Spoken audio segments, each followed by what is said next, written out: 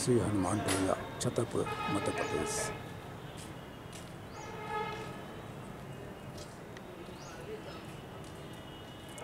काफ़ी महत्वपूर्ण मंदिर है ये। मंदिर परिसर में खड़े हुए हैं। ये ऊपर जाने का मुख्य द्वार है। श्री हनुमान टोलिया पहाड़ी पर स्थित है। प्रसाद की दुकानें हैं।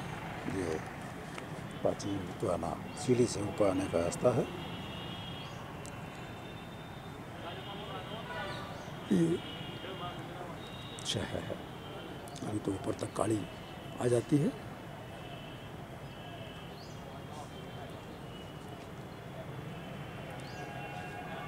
श्री हनुमान भैया